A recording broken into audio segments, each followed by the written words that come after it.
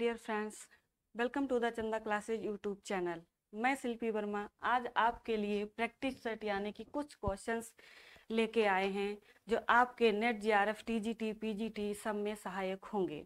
दोस्तों, इससे इससे पहले मैंने आपका इतिहास का कुछ परिचय दिया था या कुछ आपके लिए वर्गीकरण इतिहास का वर्गीकरण बताया था लेकिन आज का वीडियो जो है वो आपको NET J R F T G T P G T इनके सब के लिए हम आपको बताने आए हैं ताकि आपके एग्ज़ाम के लिए हेल्पफुल हों।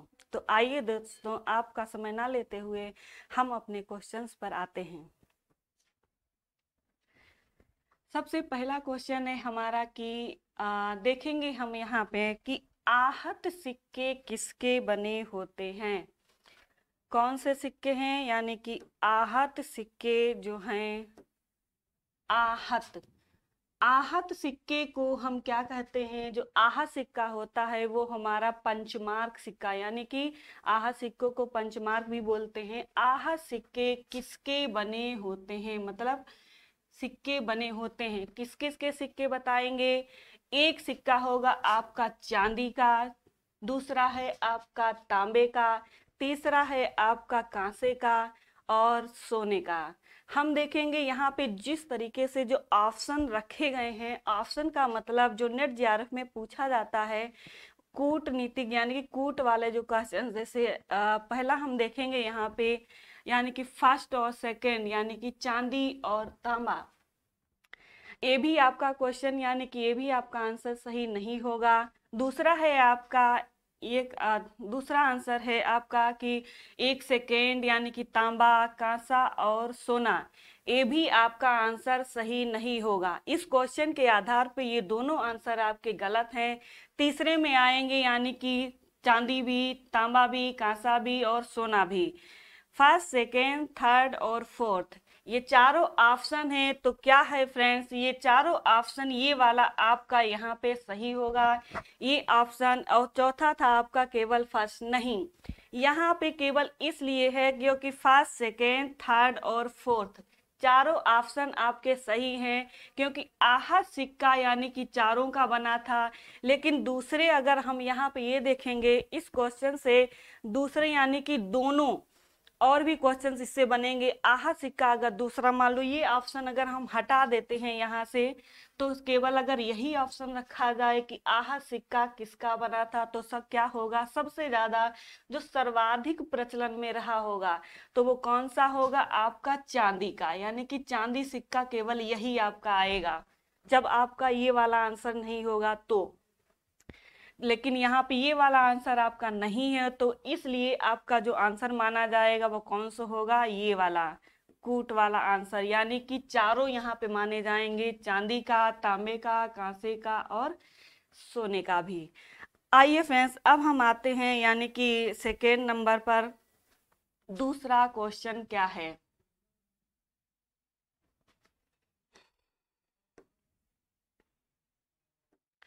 फ्रेंड्स, जो दूसरा क्वेश्चन है, वो हमारा कौन सा है? मोहन जोदड़ो से क्या नहीं प्राप्त हुआ? मोहन जोदड़ो जो एक नगर है, कौन सा नगर? यानी कि हड़प्पा सभ्यता का यानी दूसरा स्थल है, जो उसके बारे में बता, पूछा जा रहा है कि मोहन जोदड़ो से क्या नहीं प्राप्त हुआ? कौन सा है? एक आपका श्रमिक आवास हो गया, दूसरा आपका जो है वो स्नानागार है, तीसरा है पशुपत की मोहर चौथा है पुरोहित आवास। अब हम इसमें ये देखेंगे कि सबसे पहले देखेंगे जो मोहन जोदड़ो है, मोहन जोदड़ो में क्या क्या प्राप्त हुआ। आपको पता है कि मोहन जोदड़ो की मोहन जोदड़ो में पुरोहित आवास भी था। पुरोहित लोग आवास यानी कि दुर्ग क्षेत्र में रहते थे। और दूसरा था पशुपति की मोहर भी यानी कि मोहन जोदड़ो से मिली है। तीसरा ऑप्शन है आपका स्नानागार। मोहन जोदड़ो से स्नानागार भी प्राप्त हुआ है, लेकिन जो सबसे पहला आंसर है, आपका कौन सा? श्रमिक आवास। ये मोहन जोदड़ो से नहीं प्राप्त हुआ। श्रमिक आवास जो है, वो आपका कहाँ से प्राप्त हुआ है? हड़प्पा से प्राप्त होता है, पर मोहन जोदड़ो से यहाँ ये साक्ष्य आपका नहीं मिला है। तो कौन सा आपका साक्ष्य सही हो जाएगा? जो साक्ष्य सही होगा, वो आपका कौन सा हो जाएगा? श्रमिक आवास। श्रमिक आवास का मतलब ये है कि जो लोग श्रमिक, जो लोग कार्य करते थे, जैसे कि कृषि, चाहे वो कृषि का कार्य होता, चाहे वो आपका निर्माण क्षेत्र यानी कि निर्माण करता, लेकिन जो लोग वो लोग श्रमिक ही कहलाते थे। श्रमिक यानी कि उनका आवास जो लोग जहाँ रहते थे, वो यानी कि हड़प्पा सभ्यता से उसका साक्ष मिलता है, लेकिन मोहन जोदड़ो से इसका साक्ष्य नहीं मिलता है। अब फ्रेंड्स हम आएँगे यानी कि तीसरे क्वेश्चन पे, यानी कि अगला क्वेश्चन क्या है? अगले क्वेश्चन की हम बात करेंगे तो आपका आएगा अगले क्वेश्चन में, निम्न पुरा पाषाण काल, यानी कौन सा पाषाण काल है? निम्न पुरा पाषाण काल के उपकरण किस पद्धति पर बनाए जाते हैं? यानी कि निम्न पुरा पाषाण काल के जो पाषाण उपकरण हैं, वो किस पद्धति पे थे? दोस्तों, आपको पता होगा कि ब्लेड पद्धति जो है, ये दूसरा पहला है ब्लेड पद्धत, दूसरा है फलक पद्धत, तीसरा है कोर पद्धत माइक्रोलिथ पद्धति। ब्लेड पद्धति में हम देखेंगे जो ब्लेड पद्धति कहाँ कब हुआ था, किस आधार पे बनाया जाता था, उच्च पुरा पाषाण काल का ये था। उच्च पुरा पाषाण काल में जो ब्लेड पर आधारित जो औज़ार बनाए जाते थे, वो उच्च पुरा पाषाण काल में बनाए जाते थे। इसलिए ब्लेड पद्धति ये नहीं होगा। फलक पद्धति भी नहीं होगा। कोर पद्धति यानी कि ये जो ऑप्शन है आपका कोर पद्धति, यानी कि ऑप्शन नंबर जो सही होगा वो यानी कि तीसरा जो आपका माना जाएगा कोर पद्धति पे आ, बनाए जाते थे। कोर पद्धति का मतलब जो मूल पत्थर होता था जिसे कोर कोर को बनाया जाता था मूल पाषाण को उसको क्या बोलते थे? यानी कि खुरच खुरच को बनाने को क्या कहते थे? कोर पद्धति। कोर पद्धति के अनुसार निम्न पुरा पाषाण काल के जो औज़ार थे वो बनाए जाते थे। आगे हम आएँगे यानी कि नेक्स्ट क्वेश्चन पर। नेक्स्ट क्वेश्चन है हमारा चौथा क्वेश्चन वो हम देखेंगे। बोगज कोई का अवलेख प्राप्त हुआ है। क्या है क्वेश्चन इसका? बोगज कोई अभिलेख प्राप्त हुआ है? बोगज कोई अभिलेख मतलब कहाँ से प्राप्त हुआ है? या किस स्थान कह सकते हैं कि किस स्थान से प्राप्त हुआ है? या फिर किस देश से प्राप्त हुआ है? या यहाँ पे क्वेश्चन पूछ रहा है कि अभिलेख प्राप्त हुआ है। ऑप्शन के आधार पर हम यहाँ पे मतलब टिक करेंगे। एक तो ईरान हो गया, देशों की बात कर रहा है। ईरान है, इराक है, तुर्की है और मिस्र है। यानी कि जो बोगज कोई अभिलेख है तो बोगज कोई स्थान से ही मिला है। कहाँ से मिला है? तुर्की से। कहाँ से मिला है? तुर्की से। नेक्स्ट क्वेश्चन नेक्स्ट क्वेश्चन की हम बात करेंगे तो यानी कि कौन सा है? हड़प्पा सभ्यता की मोहरे जो थी, वो बनी थी। हड़प्पा सभ्यता की जो मोहरे थी, बनी थी। किसकी बनी होती थी? सर्व, सर्वाधिक अगर देखेंगे, चट की भी बनी थी, तांबे की भी बनी थी सेल खड़ी कांचली मिट्टी। यानी कि हड़प्पा सभ्यता का जो यहाँ पे आंसर तो कौन सा हो जाएगा? पहले आंसर है यानी कि फ़र्स्ट और सेकेंड, यानी कि चर्ट और तांबा, ये भी आपका सही नहीं है। दूसरे हम बात करेंगे यानी कि इसमें तीन आंसर दे रहा है। कौन कौन सा? एक आपका चर्ट, तांबा और सेल खड़ी यहाँ पे ए भी आपका आंसर सही नहीं माना जाएगा। जो तीसरा आंसर आपका आएगा फ़र्स्ट, सेकेंड, थर्ड और फोर्थ। यानी कि फ़र्स्ट में आपका चट भी सही है, तांबा भी सही है, सेल खड़ी भी सही है और कांचली मिट्टी भी सही है। फ्रेंड्स, अगर हम देखें यहाँ पे कि वो इस अगर चारों ऑप्शन आपको मिलेंगे तो आपको चारों ऑप्शन पे टिक करना है। अगर आपके लिए ये वाला आंसर आपका सही होगा, यानी कि चारों का। अगर हम यहाँ पे ये ऑप्शन कूट वाला ना दिए होता या केवल यही दिया होता तो यहाँ पे सर्वप्रथम कौन सा माना जाता? सेल खड़ी खा। क्योंकि सेल खड़ी सर्वाधिक प्रचलन में थी। बनाया तो सारे मतलब पत्थर से गए हैं, चढ़ का भी बना था। तांबे का भी बना था, आपका सेलखड़ी और काचली चारों का बना था, लेकिन सर्वाधिक रूप में हम देखेंगे, वो आपका सेलखड़ी से ही बनाया गया था। इससे दो क्वेश्चन बनते हैं, अगर ऐसा क्वेश्चन आपके लिए आए तो आपको चारों क्वेश्चन सही करने हैं। अगर आपके ये क्वेश्चन आए, केवल चार ऑप्शन ही आपको देता है तो सर्वप्रथम आप सेलखड़ी को ही लगाएँगे। तो फ्रेंड्स आपका नेक्स्ट क्वेश्चन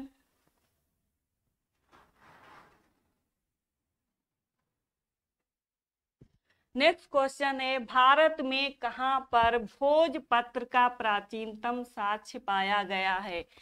स्थान का नाम पूछ रहा है, क्या यानी कि केवल भारत में, ना कि विश्व में बात कर रहा है, कहाँ से? भारत में कहाँ पर भोजपत्र का प्राचीनतम साक्ष्य पाया गया है?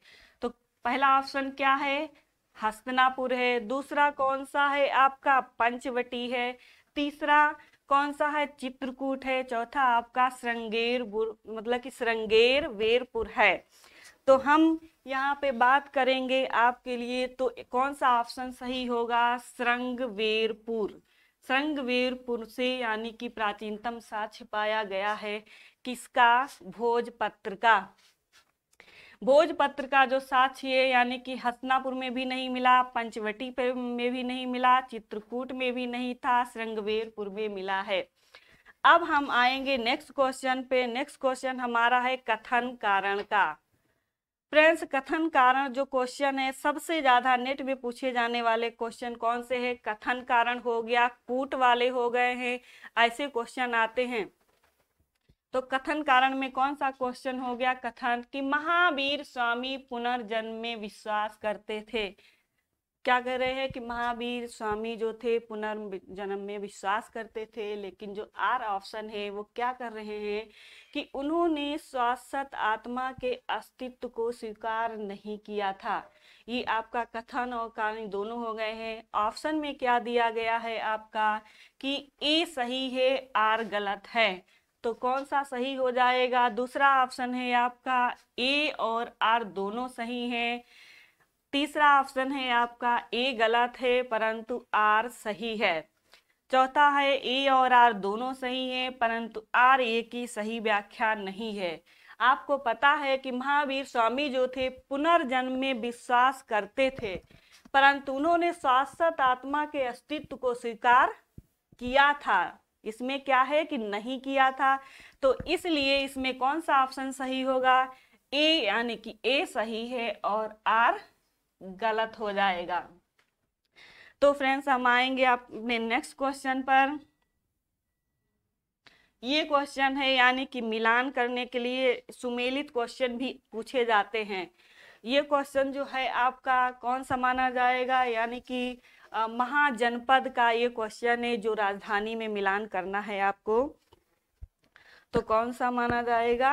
देखिए, एक है यानी कि पांचाल, यानी कि ये है महाजनपद और ये है राजधानियाँ। हम इसमें देखेंगे क्वेश्चन क्या कह रहा है?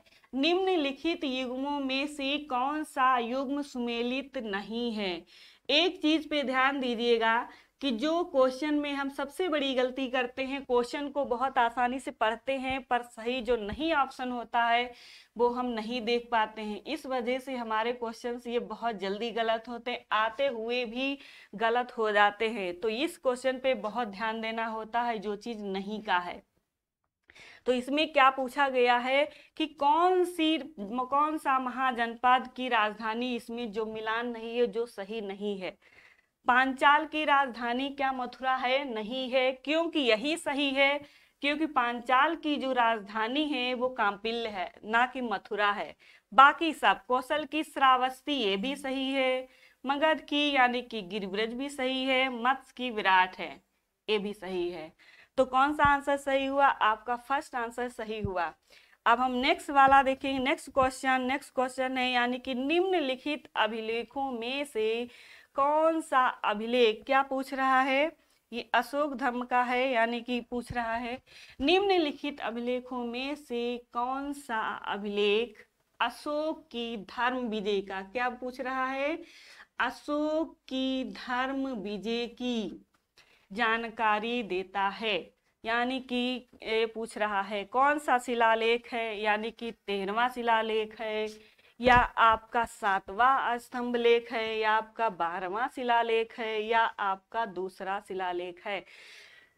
दोस्तों, देखेंगे हम यानी कि जो प्रथम कलिंग का, यानी कलिंग जब युद्ध हुआ था, उसका जो धर्म विजय, यानी कि धर्म जब अपनाया था तो वो उसकी जो वर्णन किया है, वो किया है तेरहवें अभिलेख में। किसमें?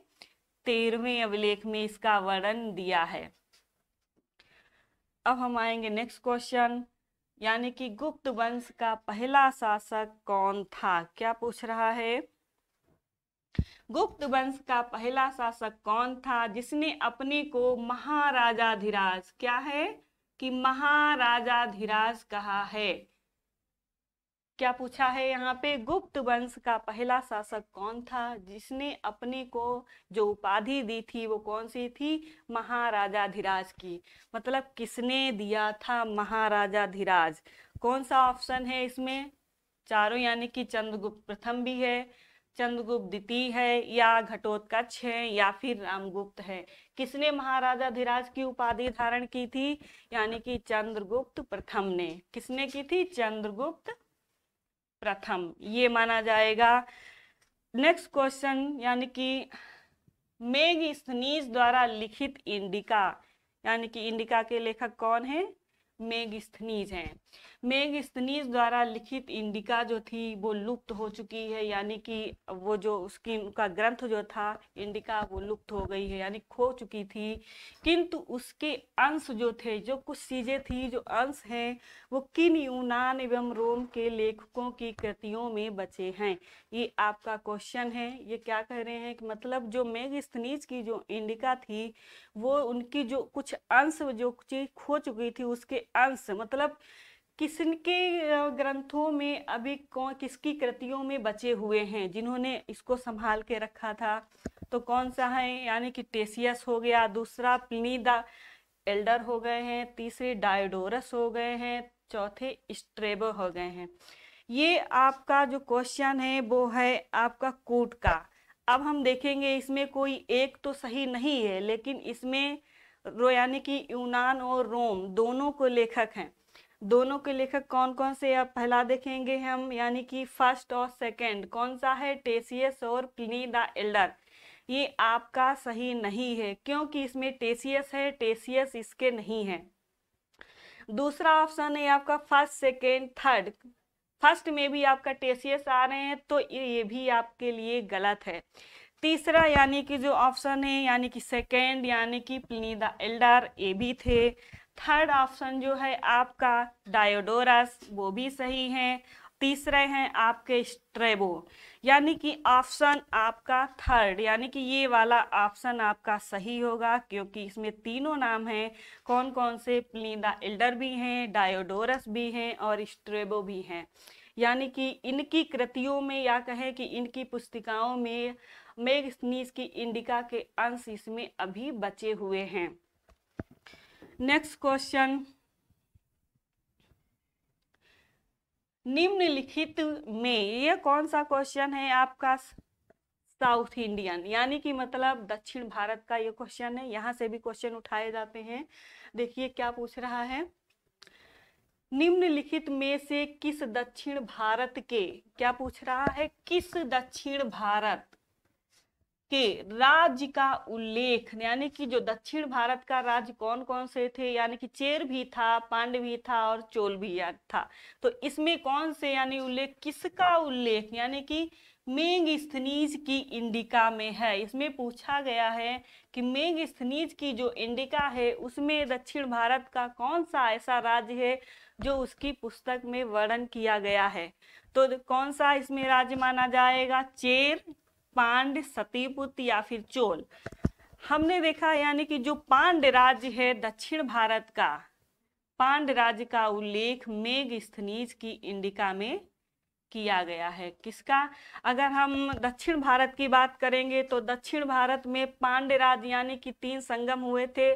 पांड्यों के ही मतलब संरक्षक में करवाया गया था तीनों संगम। ये भी क्वेश्चन साथियों आएगा आगे क्योंकि इसमें दिया गया है। तो हम नेक्स्ट क्वेश्चन पर आते हैं। वो क्वेश्चन कौन सा है? थर्टीन नेक्स्ट क्वेश्चन बुद्ध ने अपने सर्वाधिक उपदेश कहाँ पर दिए थे? यानी कि कौन सा क्वेश्चन है कि बुद्ध ने ये क्वेश्चन पे ध्यान दीजिए, ये क्या पूछ रहा है? क्या पूछ रहा है कि बुद्ध ने अपने सर्वाधिक उपदेश कहाँ दिए थे? क्या दिया है? सर्वाधिक। अब हम इस पे ध्यान ये देंगे कि बुद्ध ने अगर हम मान लीजिए नहीं ध्यान देते तो कहीं कहीं पे लिखा होता है कि बुद्ध ने अपना पहला उपदेश कहाँ दिया था? अगर पहले उपदेश की बात करेंगे तो कौन सा सही हो जाएगा? सारनाथ, क्योंकि बुद्ध ने अपना पहला उपदेश सारनाथ में दिया गया है, दिया है। लेकिन यहाँ पे जो पूछ रहा है, वो कौन सा आंसर, क्या पूछ रहा है? सर्वाधिक उपदेश कहाँ दिए थे? कहाँ दिए थे सर्वाधिक उपदेश श्रावस्ती में? सबसे ज़्यादा उपदेश श्रावस्ती में ही दिया था।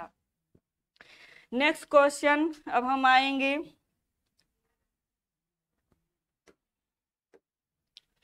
अशोक ने किस अभिलेख में, ये पूछा गया है कि अशोक ने किस अभिलेख में कलिंग युद्ध का उल्लेख किया है। कलिंग युद्ध जब किया था तो उसके बाद धर्म विजय यानी कि धर्म अपना लिया था। लेकिन कलिंग में जो युद्ध हुआ था, उसका वर्णन पूछ रहा है कि कौन से अभिलेख में कलिंग युद्ध का उल्लेख किया गया है। तो इसमें कौन सा यानी कि जौघर शिलालेख भी है, धौली यानी कि धौली शिलालेख भी है, रोमन देई भी है, रोमन देई बुद्ध से रिलेटेड है तो ये भी नहीं हो सकता है। शाहवाज गढ़ी शिल्प राजाज्ञा अगर हम देखेंगे यहाँ पे तो कौन सा माना जाएगा? सहवाज, गढ़ी, शिल्प, राजाज्ञा। इसमें यानी कि अशोक ने क्या किया है कि अपने अभिलेख में यानी कि इस सहवाज, गढ़ी, शिल्प, राजाज्ञा अभिलेख में क्या किया? कलिंग युद्ध का वर्णन भी इसमें दिया है। नेक्स्ट क्वेश्चन है हमारा सुमेलित का। अब हम जो सुमेलित आएगा, वो कौन सा होगा? हड़प्पा सभ्यता से। सबसे ज़्यादा क्वेश्चन इसके देखे जाते हैं, या तो वो कूट में होंगे नेट में जो पूछा जाता है, या तो वो कूट में होंगे, कथन कारण का सबसे ज़्यादा पूछा जाता है, और नॉर्मल क्वेश्चन कुछ ही रहते हैं। अब हम देखेंगे, यानी कि जो क्वेश्चन यानी कि इधर सिंधु घाटी नगर है, यानी कि सिंधु सभ्यता के जो ये नगर है, वो हैं, इधर हैं, कि किस तट पर स्थापित है, नदी, यानी कि नदी का तट पूछ रहा है। ठीक है? अब हम देखेंगे मोहन जोदड़ो। तो पहला कौन सा है? मोहन जोदड़ो, यानी पहला ऑप्शन सेकेंड यानी कि मोहन जोदड़ो क्या रावी नदी के स्थान रावी नदी तट पर स्थित है? नहीं। ये भी आपका सही नहीं होगा। तीसरा, यानी कि दूसरा बनावली को दिखाया गया है सिंधु से। ये भी सही नहीं है, क्योंकि मोहन जोदड़ो खुद सिंधु के तट पर स्थापित है। ये भी आपके लिए सही नहीं है। फ़र्स्ट देखेंगे रोपड़ यानी कि रोपड़ वाला भी नहीं क्योंकि रोपड़ सतलज पे है। अब दूसरा ऑप्शन है कि थर्ड यानी कि हमारा आंसर जो सही होगा वो होगा आ, क्या कहेंगे थर्ड वाला। कौन सा आंसर सही होगा? थर्ड। क्योंकि अब हम देखेंगे मोहन जोदड़ो कहाँ स्थापित है? यानी कि सिंधु नदी पर था बनावली। बनावली को देखेंगे सेकेंड यानी कि थर्ड नहीं फ़र्स्ट वाला सॉरी फ़र्स्ट में आएगा, क्योंकि सिंधु नदी है। दूसरा ऑप्शन बनावली जो है, वो आपका घग्गर नदी पे है। और तीसरा, यानी रोपड़। रोपड़ जो है, हमारा सतलज नदी के तट पर स्थापित है। और जो हड़प्पा है, वो हमारा मतलब कि रावी नदी पर स्थित है। तो कौन सा आंसर सही हो जाएगा? बी कौन सा आंसर हमारा सही होगा? बी आंसर हमारा सही होगा, मिलान का। अब हम आएँगे नेक्स्ट क्वेश्चन पर। मिलान का ये भी है तो ये भी, ये कौन, किससे रिलेटेड है? वैदिक नदियों से, यानी कि वैदिक नदियों से, यानी कि ये वैदिक नदियाँ हैं और वर्तमान में उसके नाम क्या हैं? तो कौन कौन से नाम है, देखते हैं हम। अब हम देखेंगे जो नाम, यानी कि अस्कनी है अस्कनी है, परुषणी है, सतुद्री है। सतुद्री वाला हम देखेंगे कौन सा और अस्कनी जो होगा वो, अस्कनी को क्या बोलेंगे? अस्कनी को चिनाब। किससे रिलेटेड करेंगे? अस्कनी को वर्तमान में चिनाब नदी कहा जाता है और परुषणी को क्या कहेंगे? यानी कि ये परुषणी जो है रावी। वर्तमान में इसका क्या नाम है? यानी कि रावी नदी, यानी कि रावी बोलते हैं इसको। और सतुद्री को क्या बोलेंगे? सतलज। ये वर्तमान नाम है। ये वैदिक नदी, यानी वैदिक के बारे में बात करेंगे। वैदिक में इस नदी का नाम सतुद्री था और वर्तमान में इसको सतलज बोला जाता है। विपासा विपासा मतलब ये हो गया आपका ब्यास। तो इसमें आंसर कौन सा सही होगा? ब्यास, यानी कि ये आंसर। फ़र्स्ट अस्कनी को चिनाब बोला जाता है वर्तमान में, परुषणी को राबी बोला जाता है, सतुद्री को सतलज बोला जाता है और विपाशा को ब्यास बोला जाता है। अब हम आएँगे नेक्स्ट क्वेश्चन पे। दक्षिण भारत का ये क्वेश्चन है, ये भी कि पूछा गया है कि राज राजेश्वर मंदिर समर्पित है। क्या फ्रेंड्स पूछ रहा है कि राज राजेश्वर मंदिर समर्पित है? यानी कि किसको समर्पित है? ये पूछा गया है। जो मंदिर ये बनवाया गया है, उसमें मतलब क्या पूछा मतलब कौन सी, यानी कि कार्तिकेय को समर्पित है, या फिर शिव को समर्पित है, या फिर विष्णु को, या फिर सूर्य को? तो किसको समर्पित है? हम देखेंगे कि राज राजेश्वर जो मंदिर है, शिव को समर्पित है। हम देखेंगे यहाँ की राज राजेश्वर जो मंदिर है, वो राजराज प्रथम ने बनवाया था। किसने बनवाया था? राजराज प्रथम ने बनवाया था कहाँ? तंजौर में। तो उसे यानी कि उसमें कौन सी प्रतिमा स्थापित करवाई थी? शिव की। तो वो शिव को समर्पित माना जाएगा। अपने ही नाम पर उन इस मंदिर का नाम उन्होंने राज राजेश्वर रखा था। अब हम आएँगे नेक्स्ट क्वेश्चन ये एक मिलान है. ये इसमें पूछा गया है, यानी कि बौद्ध धर्म, यानी कि बौद्ध संगीति के बारे में। बौद्ध संगीति में चार संगीति हुई थी. चार संगीतियों का हमको मिलान करना है, यानी कि ये मतलब प्रथम, द्वितीय और तृतीय. तीनों, यानी कि जो संगीति हुई थी चारों, वो कौन कौन से स्थान पर हुई थी? अब इसमें भी कूट वाले आंसर हैं। कूट वाले आंसर का आप देखेंगे, यानी कि प्रथम जो संगीति हुई थी, वो कहाँ हुई थी? कहाँ कहेंगे कि मतलब जो प्रथम संगीति थी, वो कहाँ मानी जाएगी? राजगृह में। कहा मानेंगे कि राजगृह में हुआ था प्रथम संगीति? फ्रेंड्स, अभी हम देखते हैं कि ये जो संगीति है संगीति कौन कौन से स्थान पे यानी किसके किसके अध्यक्षता में करवाई गई थी? तो हम देखेंगे यानी कि ये हाँ कौन सा प्रथम संगीति हुई थी, हमारी राजगृह में हुई थी, जो दूसरी यानी कि संगीति हुई थी, वो कहाँ है? वैशाली में। कहाँ है? वैशाली में। और तीसरी जो संगीति हुई थी यानी कि पाटिल पुत्र। कहाँ की गई थी? पाटिलपुत्र में की गई थी। चतुर्थ जो संगीति थी, वो आपकी कश्मीर में हुई थी। तो कौन सा ऑप्शन आपका सही हो जाएगा? कौन सा ऑप्शन आपका सही होगा? ये तीसरा, यानी कि सी। मतलब प्रथम संगीति राजगृह में और सेकेंड यानी कि द्वितीय संगीति वैशाली में और तीसरी संगीति आपकी पाटिलपुत्र में होगी। चतुर्थ संगीति आपकी कश्मीर में है। अब हम आएँगे नेक्स्ट क्वेश्चन पर। देखेंगे क्या पूछ रहा है इसमें, निम्नलिखित में से, ये भी दक्षिण भारत का है, यानी कि क्या पूछ रहा है, संगम के बारे में बात कर रहा है। संगम यानी कि निम्नलिखित में से कौन, क्या पूछ रहा है, कौन? तृतीय संगम का अध्यक्ष था। हमारे दक्षिण भारत में कितने संगम हुए थे? तीन संगम हुए थे। तीन संगम यानी कि प्रथम, द्वितीय और तृतीय। तो इसमें कौन सा पूछ रहा है? तृतीय संगम का अध्यक्ष पूछ रहा है। तो कौन से माने जाएँगे? पहला ऑप्शन है आपका इरिंडुयार है।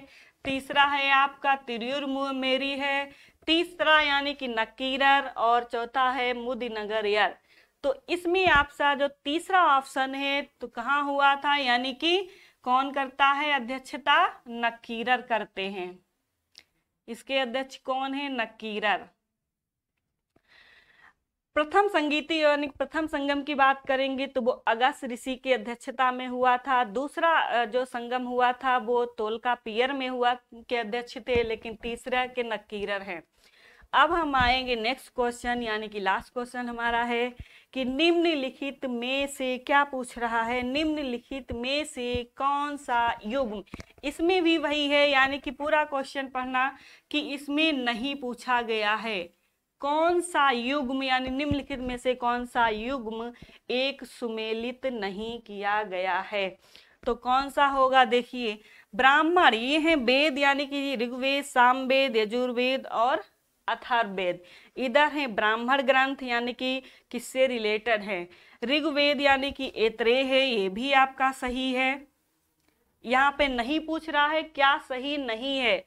इस वजह से तो साम वेद है आपका तो साम वेद जो ऑप्शन है वो आपका सही नहीं है। ये सही नहीं है, क्योंकि साम वेद यानी कि जैमनी है, इसका पंचवीस और सड़वीस है। तैतरीय नहीं है आपका ये। गलत हो जाएगा। यजुर्वेद भी आपका सही है और अथर्ववेद का ब्राह्मण ग्रंथ गोपत भी आपका सही है। तो दोस्तों, हम देखेंगे आपके क्वेश्चन ये सारे जो हैं, जो मैंने करवाए हैं, वो आपके लिए बहुत हेल्पफुल होंगे। आज के लिए बस इतना ही। अब नेक्स्ट वीडियो में हम आएँगे आगे लेकर, यानी कि जो कल मैंने बताया था नेक्स्ट पिछले वीडियो में बताया था कि इतिहास का सामान्य परिचय दिया था। अब हम उसके बारे में आगे बताएँगे।